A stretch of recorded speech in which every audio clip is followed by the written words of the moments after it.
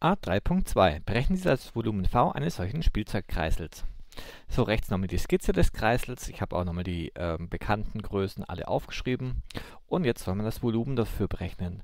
Wichtigstes vorneweg ist erstmal herauszufinden, was für Körper sind alle beteiligt.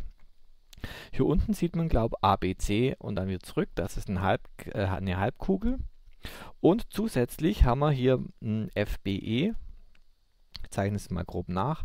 Äh, einen großen Kegel drin, der allerdings ähm, hier im Prinzip sich mit der Halbkugel überlappt. Ja, also dieser Teil ist irgendwie doppelt. Also kann man sich mal folgt, wie folgt überlegen. Das Gesamtvolumen lässt sich berechnen aus Volumen der Halbkugel plus Volumen des Kegels. Und jetzt äh, muss man diesen doppelten Teil, als diesen gestrichelten Kegel, im Prinzip nochmal abziehen. Ich nenne jetzt mal kleinen Kegel. So, jetzt muss man nur diese drei ähm, Teilvolumina berechnen und dann hat man eigentlich schon die Aufgabe erledigt. Fangen wir mit der Halbkugel an. Da finden wir in der Formelsammlung ähm, die Formel für die komplette Kugel, nämlich 4 Drittel mal r Quadrat mal Pi. Auf Seite 38 sind die zu finden. Und da wir nur die halbe Kugel im Volumen brauchen, schreiben wir einfach eine halb davor. Also ein halb mal 4 Drittel mal. So, jetzt brauchen wir den Radius. Der Radius ist AN. Wir haben ja vorhin erklärt, wenn AC die komplette Länge ist, dann ist AC, äh, AN genau die Hälfte.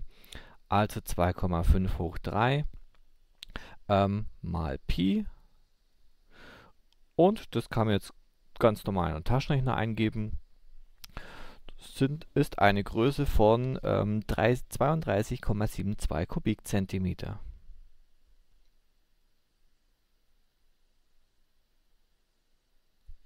also Zentimeter hoch 3. So, damit hätten wir den ersten Teil schon mal erledigt. Dann kommt Volumen des großen Kegels, also vom FBE. Formel finden wir auf der gleichen Seite etwas höher, nämlich ist ein Drittel mal Radius zum Quadrat. Der Radius hier ist die Strecke F, äh, FM. Ich schreibe es mal noch so auf, damit man es nachvollziehen kann, äh, weil jetzt hier mehrere Größen beteiligt sind, mal Pi und jetzt mal die Höhe. Und die Höhe des großen Radius ist die Strecke MB oder BM.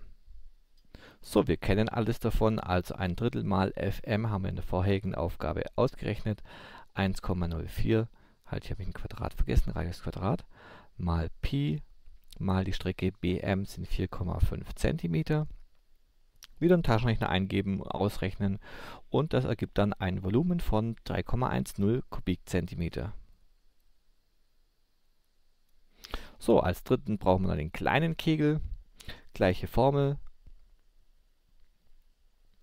Also ein Drittel mal, jetzt Radius brauchen wir diesmal die Strecke gn mal Pi.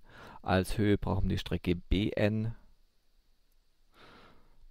So, gn ist bekannt, haben wir vorher ausgerechnet. bn ist bekannt, das ist ja, wie vorhin erwähnt, genauso lang wie an, weil es hier unten ein Halbkreis ist. Also haben wir auch hier alle Größen. Ein Drittel mal Gn war 0,58. Ja, habe schon das Quadrat vergessen. Mal Pi. Mal Bn sind ähm, ja, die 2,5 cm. Und das tippen wir jetzt wieder in den Taschenrechner ein und folgt daraus ein Volumen von 0,88 Kubikzentimeter. So, alle Volumen lassen sich also problemlos berechnen. Jetzt nochmal den Gesamtschritt durchführen. Also Gesamt ist gleich Volumen des, der Halbkugel plus Volumen des großen Kegels minus Volumen des kleinen Kegels.